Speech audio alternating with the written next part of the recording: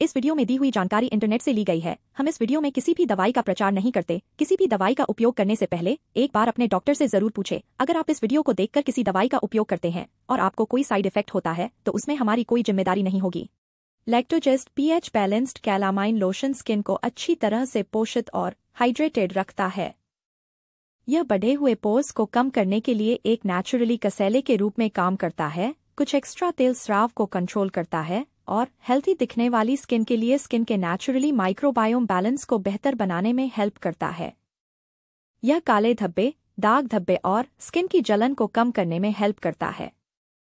इसे aloe vera calamine लौंग पुदीना नीम चाय के पेड़ के तेल, तुलसी और विच हेजल जैसे कार्बनिक पदार्थों से तैयार किया गया है।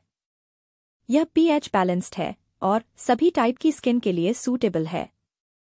चलिए जानते हैं इसके कुछ फायदों के बारे में।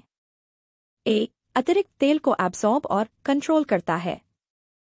दो, काले धब्बों को खत्म करने में हेल्प करता है। तीन, घाव भरने में तेज़ी लाता है।